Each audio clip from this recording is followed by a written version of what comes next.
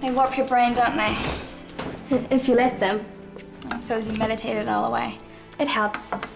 That and seeing them for the nerds they really are. You know, I almost let Lex blow our friendship How come? by being a jealous cow. Nothing to be jealous about. I know that now. Lex explained it all. Good. But for a while, I did think there was something going on between you two. Lex and me? No. I believe you. Good. We only slept together twice. Mostly as an aura balancing exercise. Aura balancing exercise? Hey! Cut it out! What on earth is going on? Ask her. Slag? It's just a misunderstanding. Zandra and I are coming from different places. I know where you come from. The gutter.